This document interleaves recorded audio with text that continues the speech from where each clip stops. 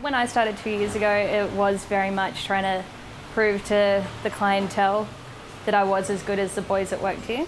So, what have you been doing with your hair? Women barbers are becoming a lot more common in the industry now. I think the environment's completely different.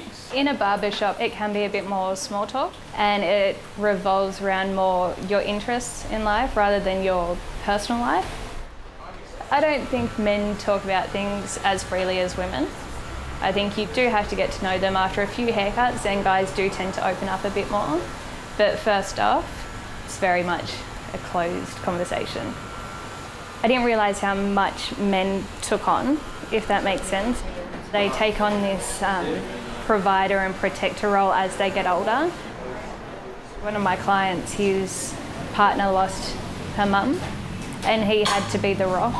He had to be the support system for her and it was really hard for him because it did upset him as well, but he couldn't show that at home because he had to be the strong one.